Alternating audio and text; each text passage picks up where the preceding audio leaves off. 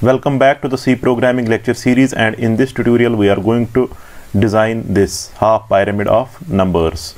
In past tutorial we have designed half pyramid of stars. Now we are going to design half pyramid of numbers. We will write 1 then 1 2 then 1 2 3 then 1 2 3 4 similarly 1 2 3 4 and 5 our program should write should generate this type of pyramid so we are going to start so we have declared 1 2 and 3 three variables i j and rows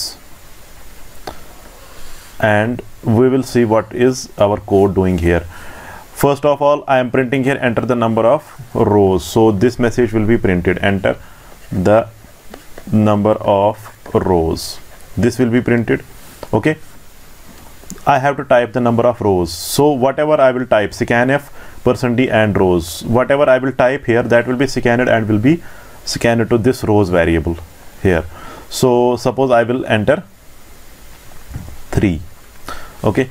For i is equal to 1 i is less than or equal to rows. So i is initialized to 1 i is less than or equal to rows yes. I is less than this 3 okay. So for now uh, I will enter inside the uh, block of this for loop. Here is another for loop which is nested with this for loop. Here j is initialized to 1 j is equal to 1 j is less than or equal to i. Now this j will be compared to this. It is uh, it is uh, the condition is that j should be less than or equal to i but it is not less than but it is equal to i so this line of code will get executed. Printf percent d space of value of j. So this value of j1 will get printed. We will print 1 here. And some space is here. So 1 and some space will occur here. Then uh, there will be the increment to this j which is pre-increment. So j will become 2 now j will be compared again uh, here this uh, in this condition j will be compared with i. Is j less than or equal to i? Yes. No. J is 2 and i is 1 neither it is equal to nor it is less than. It is greater than. Okay so it will not enter into this block. So it will come out of this block and our uh, our control will reach to this line which is out of this for loop block. Here it is printf slash new line. So our new line. So our control will come into the new line. We are here now. Okay now here here we go and we will give increment to this i. So i will get incremented to 2 okay? From 1 to 2 now is 2 less than or equal to rows? Yes. 2 is less than this 3 so this condition will get executed. This uh, so this uh, block will get executed again.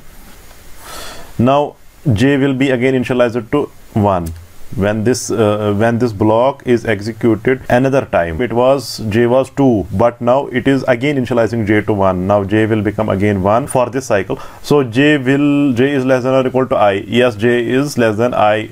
So this block will get executed where it is saying that you have to print the value of j with this space.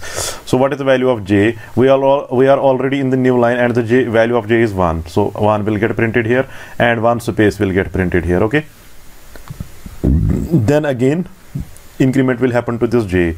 So j will become 2 again uh, when this condition is checked i is equal to j. So again this block will get executed and value of j we have to print. So here value of j is 2 which will get printed. Now again we will increment this j by 1 j will become 3 now the condition is false and it will not enter.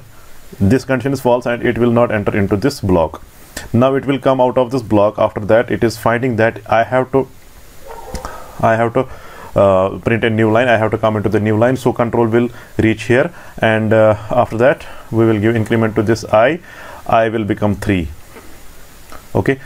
So when i will become 3 uh, so I will rub this out. Okay.